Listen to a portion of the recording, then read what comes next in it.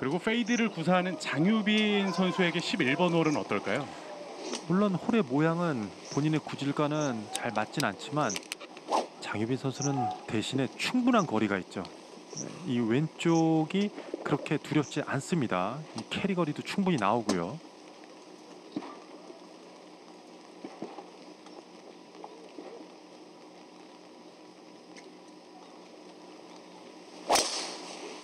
one on을 노립니다. 장유빈. 야, 오, 캐리로 그린에 떨어졌습니다. 야, 정말 대단하네요. 네. 지금 이 방향은 본인의 구질의 최선의 상황이었던 네. 거고요. 와, 대단합니다. 페이드가 걸렸다고 가정을 하면 이 공이 스타트한 라인은 이 페널티고요. 물 쪽으로 출발해서 지금 돌아 들어와서 그린에 직접 떨어졌습니다. 장유빈이 원혼에 성공했고 김민규도 원혼을 노립니다.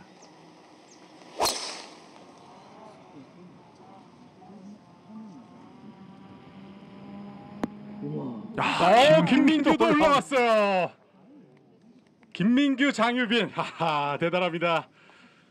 아, 정말 이게 정말 남자 골프의 진수죠. 예. 네. 와, 이 정말 두 말이 안 선- 나오네요. 두 선수가 얼마나 스윙을 강하게 했는지 recoil이라고 하죠.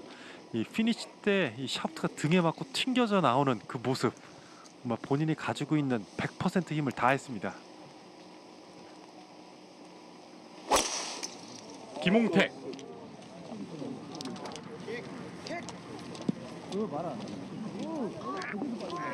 자, 김홍택은 이러면 그린 앞쪽이 될 텐데요. 이 러프 쪽에 공이 지금 걸려 있는지 지금 확인은 되지는 않는데 만약에 걸려 있다고 한다면은 또 오르막 경사이기 때문에 아주 절망적인 그런 상황은 아닙니다. 그렇죠. 탄도를 높일 수 있고요. 와, 세 선수가 보여준 짧아진 파4홀 이 one on 시도는 정말 인상적입니다. 다시 한번 보시죠.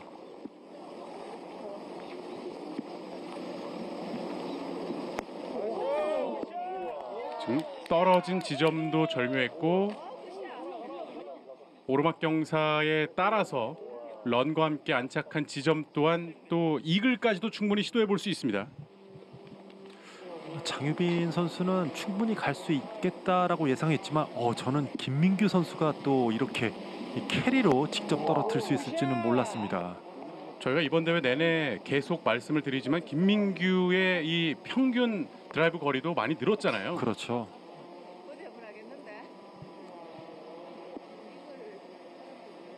그리고 우승 경쟁을 하는 최종일 마지막 조 후반에 그런 도전을 한다는 게 정말 대단한 거죠. 다시 마지막 조 선수들이에요. 김민규와 장유빈은 파4홀에 원혼에 성공해 있는데요. 김민규가 먼저 시도하겠습니다.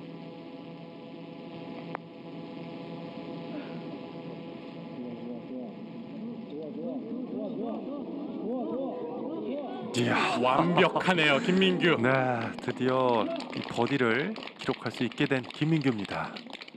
티샷도 이글 펫도 충분히 자신의 퍼시 들어갔으면 이 우승 경쟁에 본격적으로 합류를 할수 있었는데 좋은 기회를 놓쳤습니다.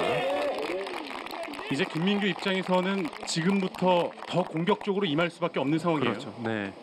더 이상 물러날 곳이 없습니다. 이 남자 선수들의 이 남자 골프의 매력은 저는 상당히 멀리 나왔기 때문에 한 번 투혼도 노려볼 수 있는 위치입니다.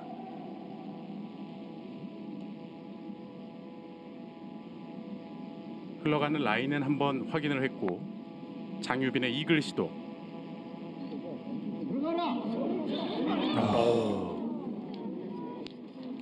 지금 넣으려고 시도를 한 거죠. 그렇죠.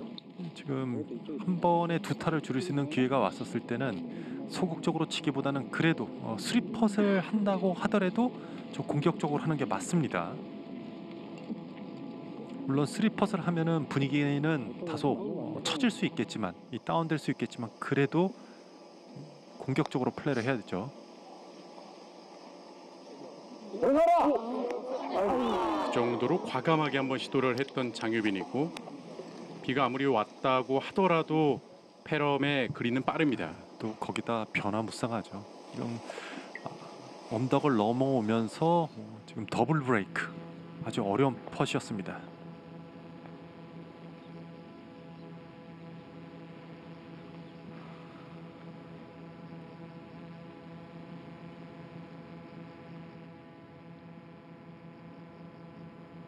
김홍택 선수의 버디 시도.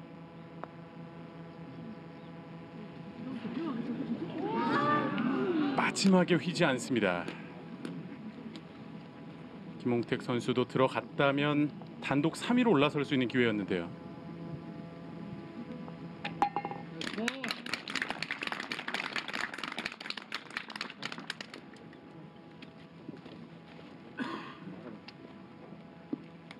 그렇게 어려운 위치는 아닙니다. 그래서 그린 근처까지 가서 어, 세 번째 샷으로 승부를 볼 수 있는 그런 홀입니다. 장유빈 선수는 이첫 번째 펫이 홀 앞에서 이제 왼쪽으로 꺾였기 때문에 이 되돌아가는 펫도 이 왼쪽 바깥쪽만 보면 됩니다. 들어가면 공동 선두.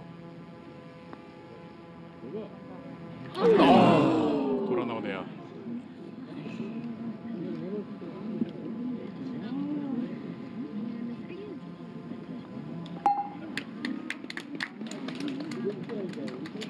세 선수 가운데는 김민규 선수만이 타수를 줄였습니다.